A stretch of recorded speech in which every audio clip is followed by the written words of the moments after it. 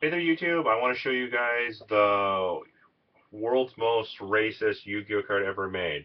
It's uh, obviously fake, and my friend found it in a collection that I believe he purchased. The name of the card is called Seto Kaiba. Uh, the reading says, from the beginning of the duel, you can select a race. Then all monsters in your deck, your hand, and your field are all changed into that race that have been selected. So I thought you guys would enjoy this uh, this pretty uh, humorous Seto Kaiba racist card. Alright, uh, don't forget to like, subscribe to my channel.